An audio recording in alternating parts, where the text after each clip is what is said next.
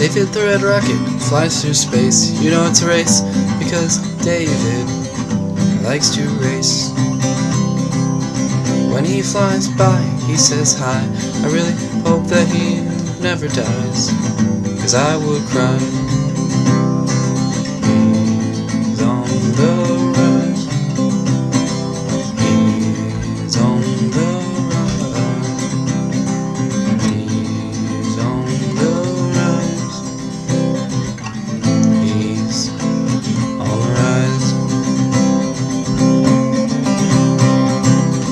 David the Red Rocket wears a gold locket, and he keeps it in his pocket. And he also plays the didgeridoo.